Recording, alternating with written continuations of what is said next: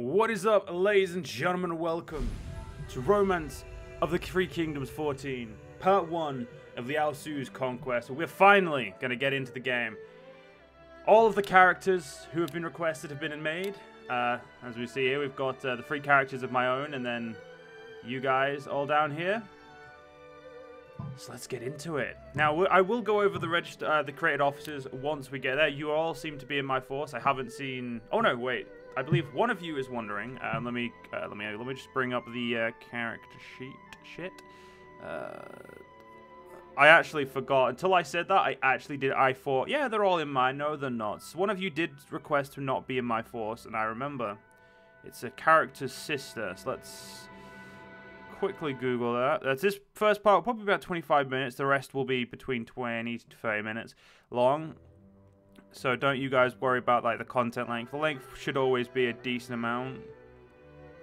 Fingers crossed. Okay, here we go. So uh, I believe all of the yeah, all of you guys are in my force. That's fine. And if you guys didn't say, that means you're in my force. That's pretty much the way I've I've done this. If you don't say, you're in my force. Okay, so the only character... Okay, so let's uh, pick the date. So, the date is currently between the Dongzhuo Coalition, uh, or the anti-Dongzhuo Coalition, uh, where Dongzhuo is there, and then there's a bunch of empty uh, provinces with a bunch of, you know, the cool cool characters like Sun, Juan, uh, Sun Jian, um, Cao Cao, Yuan Shao, Yuan Shu, you know, all of the, um, characters, some of the biggest characters that you'll know, and Ma Tang, who is in pretty much, I think Ma Tang's in like all of them. I think he's even in the latest. No, he's not in that one. I think that's the one after he was killed. Is this one where he still exists? No. I thought he was still around at that point. There we go. He's still around at the free visits. That's probably one of the hardest starts. Uh, sorry, one of the hardest starts. Uh, so yeah, but we're probably going to do Warlords uh, again, I haven't decided just second. So I'm going to quickly decide while I'm just looking for the rest of these. Okay. So yeah, so everyone else is starting here.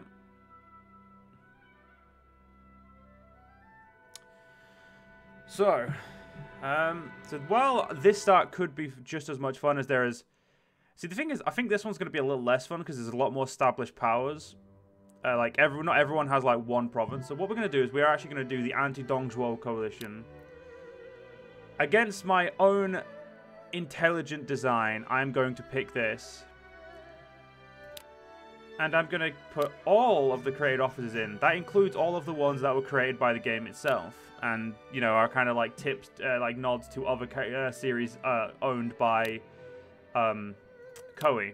So, the Liao Su's uh, city? Now that's the real question. Now, when I started, I did here, and it took me forever to just unite Southern Wu and Wu itself, like what would be partially Shu and partially Wu.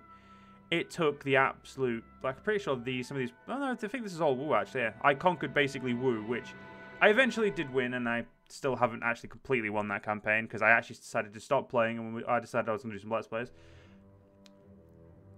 No, I don't think I want to do this one. I think I think the problem with the anti-Dongzhuo coalition is while it's very sporadic, I don't think it's going to be as fun as the uh, Warlord scenario. So we're going to do Warlords. I think I always end up doing Warlords because it's just it's just more fun. And excellent, that was a little bit of a misclick right there, wasn't it, guys?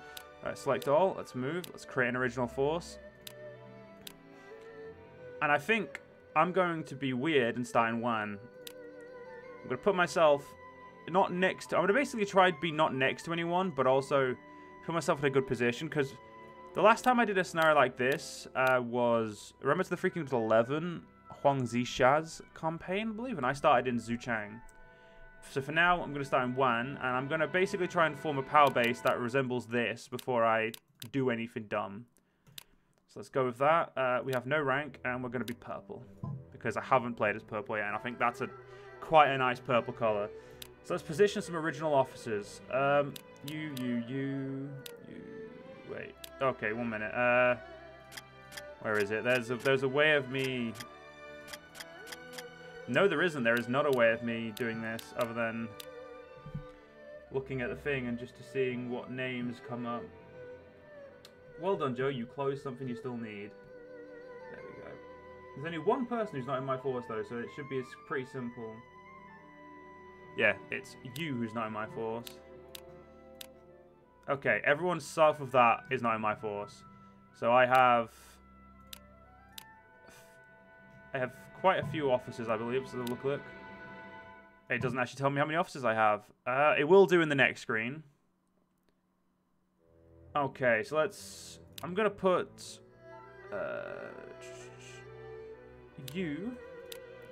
As you want to be wandering, I'm going to put you in Xuchang to essentially wander close. And the rest of them, I'm going to let be completely randomized.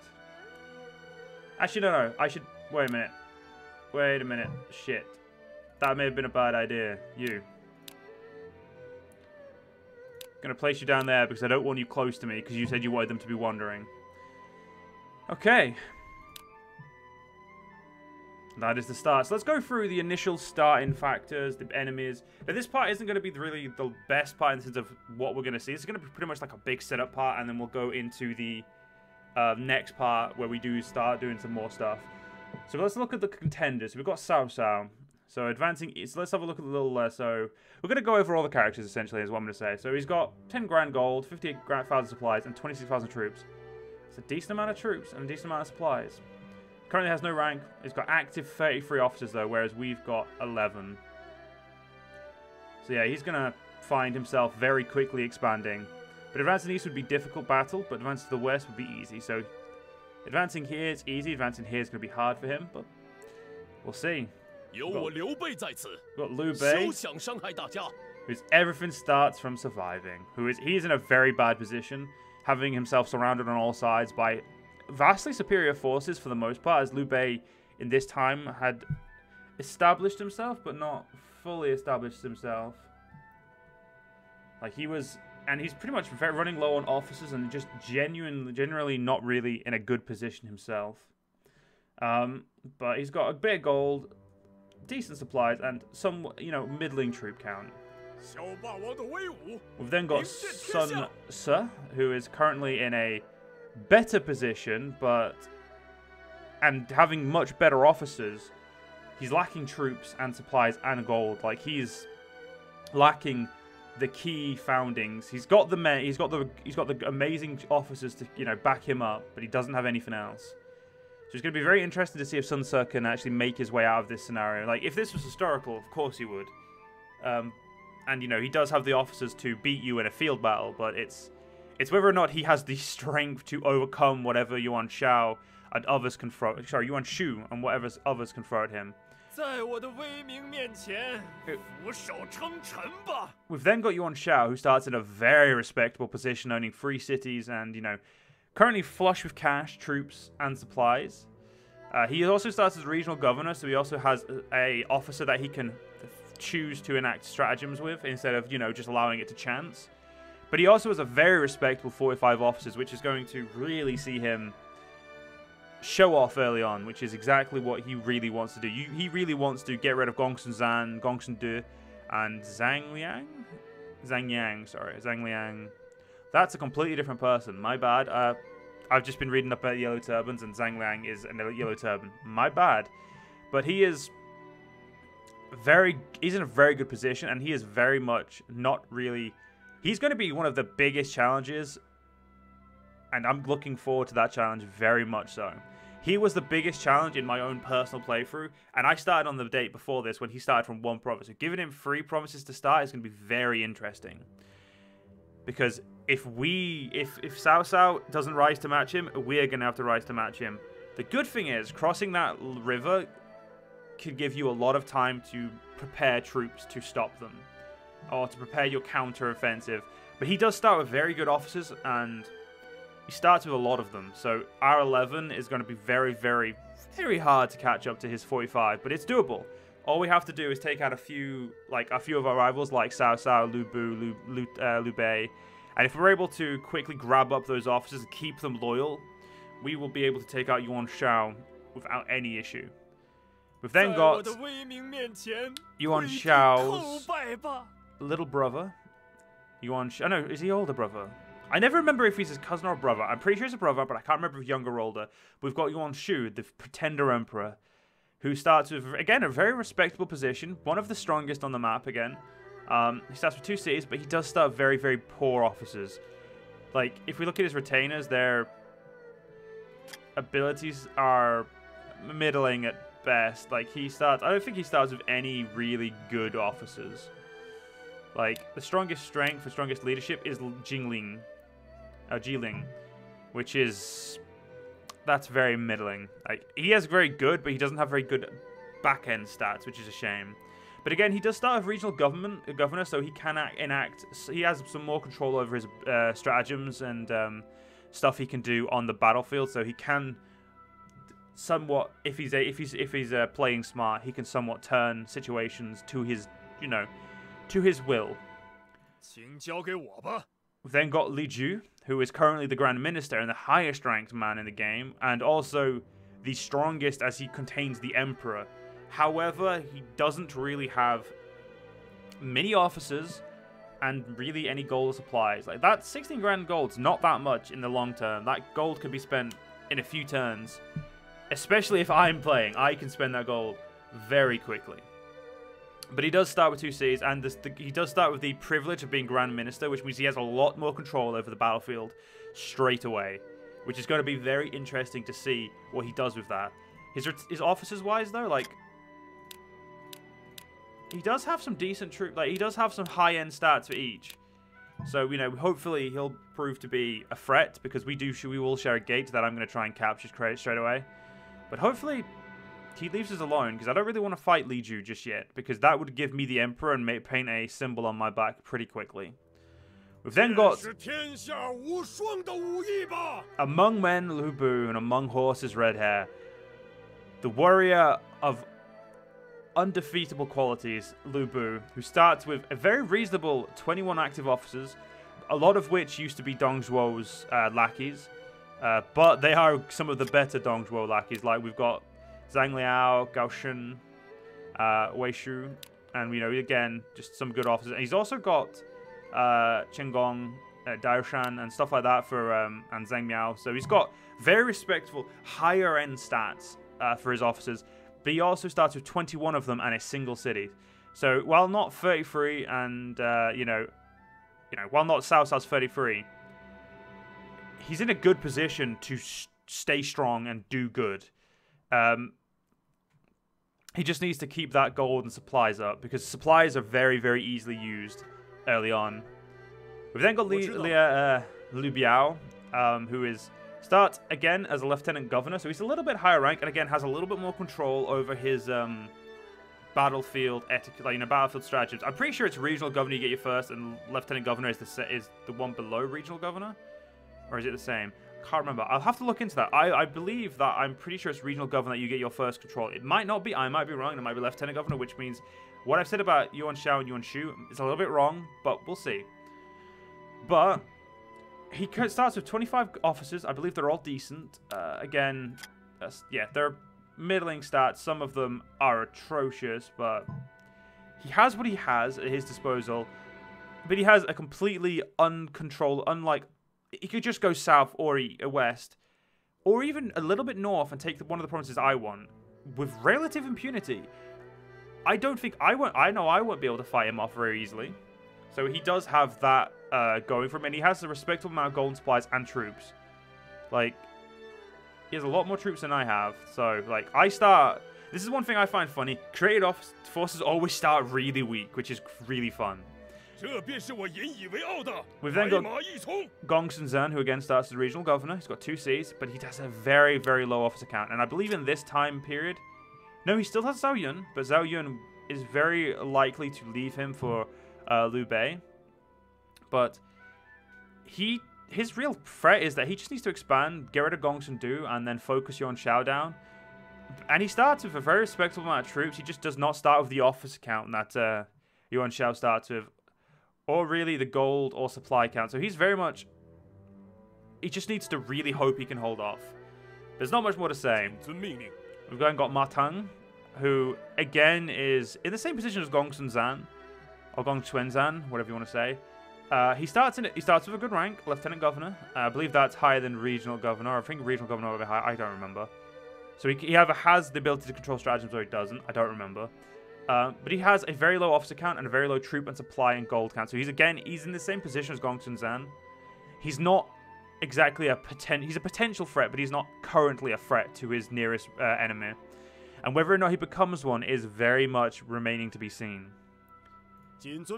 We've then got Lu Zhang, who is going to probably just establish himself completely in Shu and be left alone and then never expand because out trying to get out of Shu is just as hard as trying to get into Shu. So he's probably going to be very well established, uh, very hard to knock out, but probably not be knocked out because he's unable to get out of there himself, and he's just going to waste all of his troops on the borders, probably against Lu Biao and uh, Zhang Lu. But he does start with not a very high count of officers, and again, very low troops, gold, supplies. But he does have very good growth potential, and honestly, he's probably one of the easiest. He's probably the easiest, if not, after some of the like after Shizi. We've then got Zhang sure. Lu, who is exactly on the border of Lu Zhang, and he has again a lot of these forces. You'll notice they're very weak, very lacking, and just it's it's some of like some of the really like they just they don't even have good troops. But he is in a position where he has really like if he tries to go south, it's very slow to take the city there. It's going to be near impossible for him to move down to it. And if he wanted to go south or not, like he has nowhere to expand, and so he's pretty much just going to be a he's going to be a sitting duck, but he's going to be very hard to attack himself. We've got Gongsun Du, who, yeah, he's in a very again the same position as Zhang Lu, but a little bit harder because he's really at the edge. Like he has nowhere to expand other than for Gongsun Zan. And he doesn't have the officers or the troops or the supplies to do so. Like he is very, very much unable to do anything.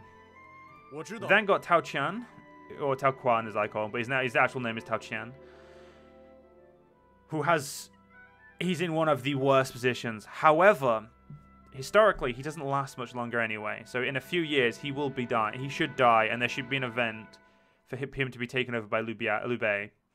And it, it shows with the active officers and the amount of troops and supplies Yes, he doesn't really have anything. Now, I do apologize. This part has been a little bit longer than I expected. I, um, but it's pretty much. I like to do a good setup. I, I feel like that's a very good thing. i will try to make this one a half an hour video, but it may upload a bit late. Um, we've then got Kong Rong, who is again he has two officers. He doesn't even have Taishi, tai, uh, Taishishi, I believe it's pronounced. Because I believe Taishishi is now with... He's now with Cao Cao, isn't he? No, no, no, no. Sunser, Sunser, Sunser, Sunser, Sunser, Sunser, Sunser, Sunser. He's red. Sunser. He's wait. He's not. Is Taishi see Liu Bei? No. Lu Bu? I don't see why he'd go to Liu Bu, but... Is Taishi Shishi dead?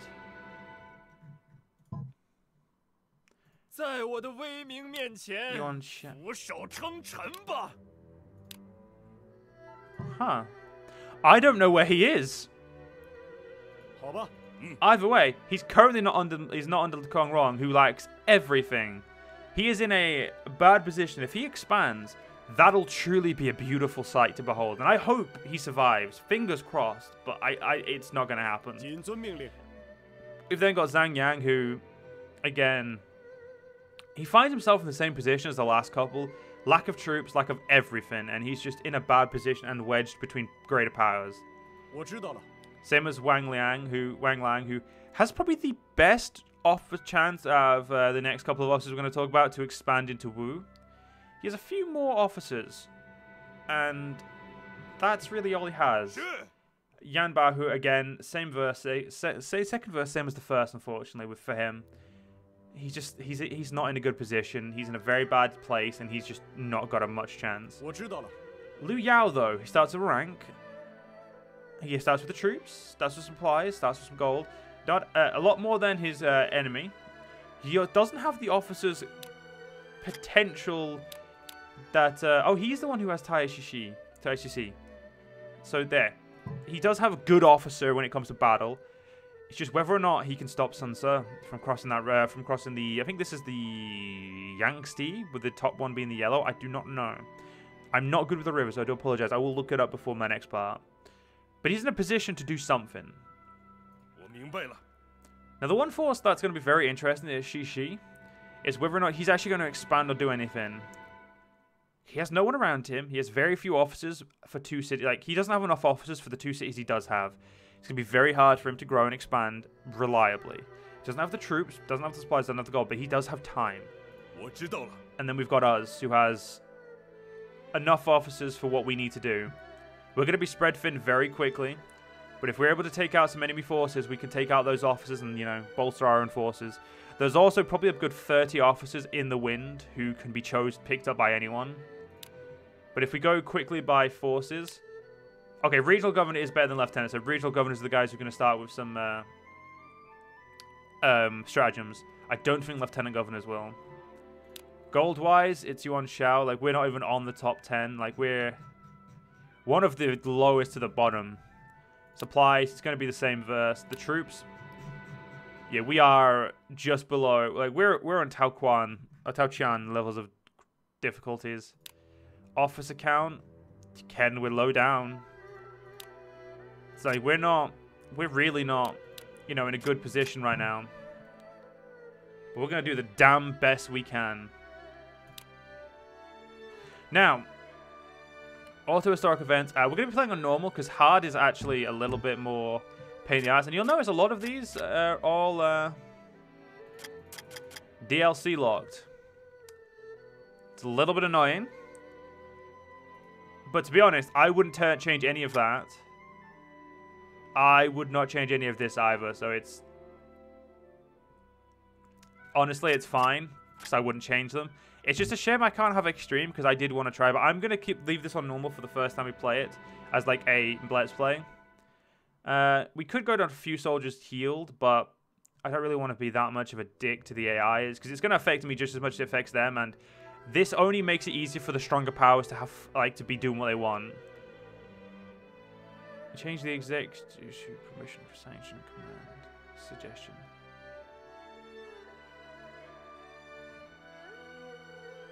Uh, yeah, we'll just leave that as it is. Is normal. Kale in action, normal. Lifespan, we're going to go historical. Female officers, present, and free officer origin, we're going to go his fictional. Because if we go historical, it's going to be very painful for us. So let's do it. So there's 32 original officers just around. Let's go.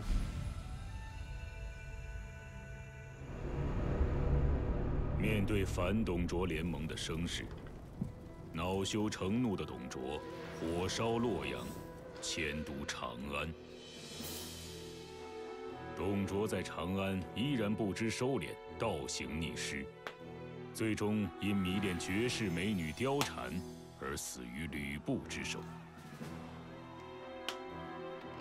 另一方面联盟军此时早已土崩瓦解诸侯各怀私心开始了权力斗争。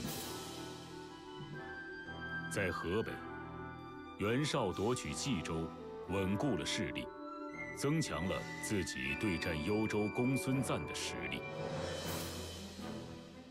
在中原曹操收编了青州黄巾军，实力大增，但在徐州之战时遭遇突袭，被吕布。夺走了兖州，诛杀董卓后，吕布被李傕等人逐出长安，四处漂泊之后，把目标瞄准了兖州。在江东，孙策向袁术借兵，胸怀亡父的遗志，开始了自己的霸业。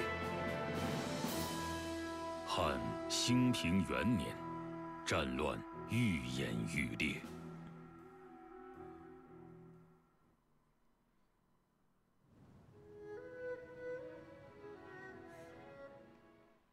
They call my late father Sun Jian the Tiger of Jiangdong, and what am I doing with my life? Unable to even succeed my father, will I just end up being an underling of Yuan Shu for the rest of my life? Sun Ce, please do not be so hard on yourself. Oh, Zhu Ji, I'm embarrassed you had to see me like this. No, I'm glad I learned you felt this way. Sun Ce, what do you think about borrowing some soldiers from Yuan Shu and raising your own army? Yuan Shu has ambitions for the imperial throne. I'm sure he would gladly lend you the soldiers if you put the imperial seal of imperial seal of Yunguo, Yung, uh, up for collateral. Borrow soldiers by putting the imperial seal of Yunguo up for collateral? I see. Yes, now this is the time for decisions. Let's bring this to Yuan Shu tomorrow. Yuan Shu was hesitant at first when Sun Ce requested independence, but his option, opinion changed when he saw the Imperial Seal of Yong'o. Young, Yuan Shu, Yuan Shu sorry, took the Imperial Seal and immediately gave his support to Sun Ce, and so began a new chapter of Sun Ce's life. It all worked out. Now there's nothing tying me down. Yes, all that's left to do is forge ahead. Hmm, who is that coming from over there? Sir. Oh, you. I heard you claimed your independence. I've been waiting for this moment. I shall join you. This is the beginning of our era. We shall claim Jiangdong first, and then the world. Ah, Zhao Yu, you're going to be in my force whether you fucking like it or not, you little bitch. Ah, Liao Su, I've been waiting for you. Before we begin to carry out our strategy, let me explain our army's objectives. Our goal is unification of this land. That is the reward that awaits the last foe standing. The land we have conquered is... Like this, our territory is represented on the map through colors. We can expand our conquered territory by moving our... Uh, by moving our units, by improving our country through domestic affairs, and while sending out our soldiers to a nearby core would be a good start. Now give me the orders. So, the first thing we're going to have to do is uh, immediately make sure you guys are loyal. Because a lot of you guys don't look don't look to be happy with me. And then, we're going to automatically select our, um, our administration. Now, I would put you guys in places, but I still do not understand this mechanic. So, the Warlord will just be the smartest. I normally make it my character's wife, Chen, uh, Chen Hua. Um, but you guys are all going to get put in where you we guys belong. Now, if I look, I don't think, yeah, there's only, yeah, you're all in, I got one, two, three, four, five, six, seven, eight, nine. No, there's a couple of you who are not.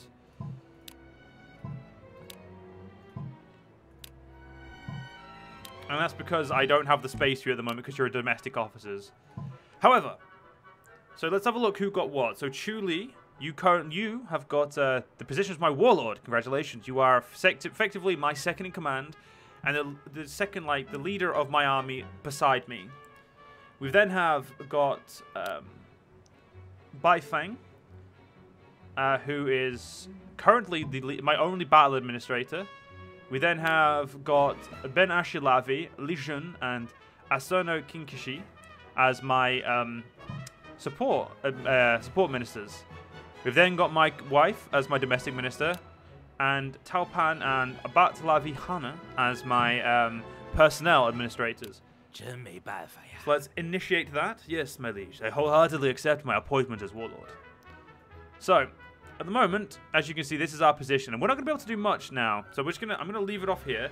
We're going to do everything else in the next part. As you can see, this is where we see who owns the most of China. At the moment, Zhu Lu Zhang and then Lu Ji, uh, Lu Zhang, and then Li Jue, and then Shi Ji own the most of the land. Um, whereas we are currently there. No, no, no, no. We're dark. We were there, I think, actually. Yeah, that's us there.